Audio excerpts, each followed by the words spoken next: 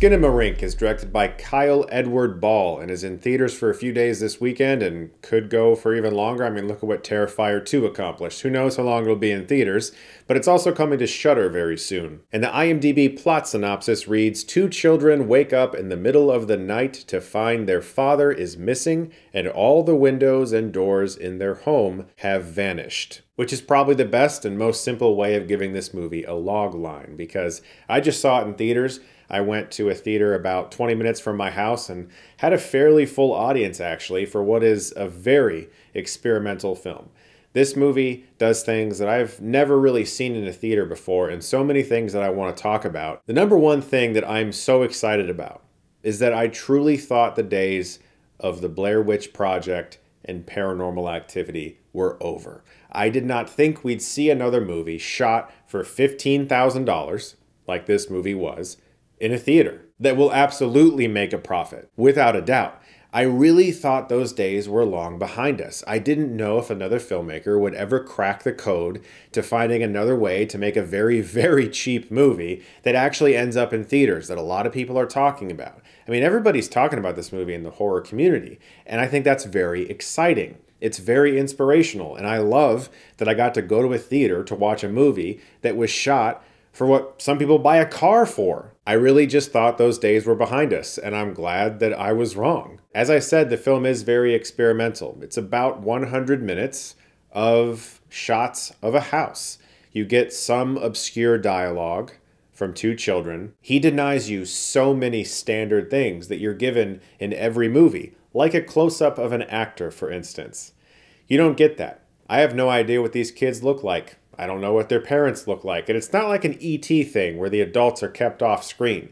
You don't see the kids either. You'll occasionally see them from like knee down walking around the house, or maybe the camera's behind them and they're sitting and you can just see their shoulders. But you don't get a sense of who these characters are. They're just two very young children who are scared and the TV's on at night playing very old cartoons that are in the public domain as the opening titles tell us. For the most part, every shot in the movie is low angle. The camera might be on the floor from the perspective of a child or an infant. There are tons and tons of shots of hallways and walls, dark closets, Legos on the ground, carpet, the couch, and everything is either purposefully underexposed or overexposed.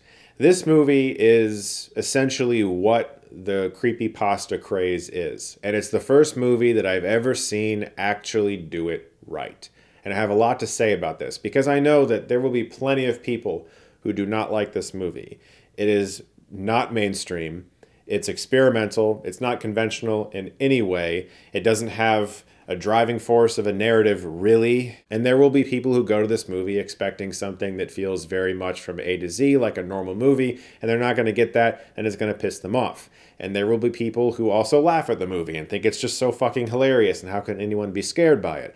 But what I see is someone who's really hungry to make movies, who did everything he could to make a movie, even if it was just setting up shots in a house and trying to tell a compelling story with something that's going on. And I think he did a really good job with what he was given. When it comes to movies that are based off of internet horror stories and creepy pastas, or films that are clearly inspired by those things, it's a pretty tough sell. Most of the ones I've seen, if not all, weren't really for me. And there's a lot of mistakes that I thought were made with those characters in those films. Most of them are very high gloss entertainment, shot for a lot of money and aimed at teens, PG 13. When it comes to the most successful creepy pastas that I've seen, there's something I've noticed about all of them, and I have a very unique story that I will quickly tell to kind of drive this point home. I've never talked about this because it's unorthodox to do so, but uh, a while back, I was given the opportunity to pitch an idea to a studio that had the rights to a specific creepypasta character. And they asked me to pitch them what I would do with it. And I took some time and I thought about it.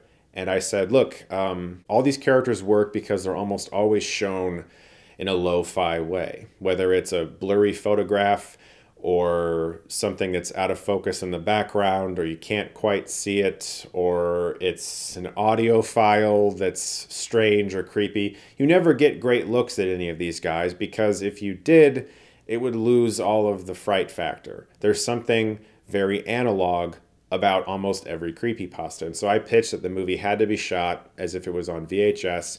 I said it had to be rated R because of the nature of the character they had the IP of. This character does very violent things, and I was like, you can't water that down, and you should pretty much shoot it almost entirely in like an old warehouse. And I pitched what I thought was a pretty good idea for it and they weren't into it. I think they were probably looking for more of the high gloss route, which is what so many of these movies have done wrong. Skinamarink clearly is inspired by internet horror and creepy pastas, and it's exactly what should be done. The audio is so purposefully bad that there's subtitles for a lot of the dialogue. The image looks like a cross between VHS, mini DV tape, and an old deteriorated film reel. And as already stated, the lighting is so purposefully underexposed or overexposed most of the time that you're in a constant state of wondering what exactly you're looking at. And that's one of the scariest things about the movie for me. Yes, it is a little bit too long. I think that there's a really good 80 minute version of this yes, there's excessive use of the same angle over and over and over. There is a somewhat confusing narrative that you don't always understand, but that's part of the fun of it. And I have to go back to the fact that this is just like a movie made by somebody who is super hungry for like next to nothing when it comes to feature film budgets. And the fact that it's in theaters and I just paid for a ticket to go watch it is so goddamn inspirational. Fact of the matter is, regardless of whether or not you find enjoyment in Skinamarink or see something in it that you know scares you or you think it's just funny or it's boring, things like this just don't really happen anymore when it comes to making such a low budget film and getting it into theaters. And I gotta say, I feel a major sense of pride as a horror fan that the three biggest examples of this are all horror movies. I think that is so cool. And I am so excited for, for this year in horror and the fact that comic book movies and horror movies are keeping the theatrical industry alive. I think that is so great that as a genre and all of the subgenres within it, it continues to prove to be this endless sea of creativity. So, guys, if you're into the idea of a very lo fi movie that is super experimental, that does have some scary moments, and seeing that on the big screen with an audience that is probably going to be like, what the fuck am I watching? I think that it's going to be an experience you won't forget. Whether you like it or not, I remember seeing Paranormal Activity and Blair Witch Project for the first time. And I do think that all of them, despite what you may or may not like about it, I've never forgotten those moments. They do feel like little mini cultural touchstones in the horror genre. And I do think that despite whether or not you find yourself liking or disliking this movie, you're going to remember watching it for the first time. Guys, thank you so much as always for watching. Look forward to more videos very soon. And if you like this, you can click right here and get stuckmanized.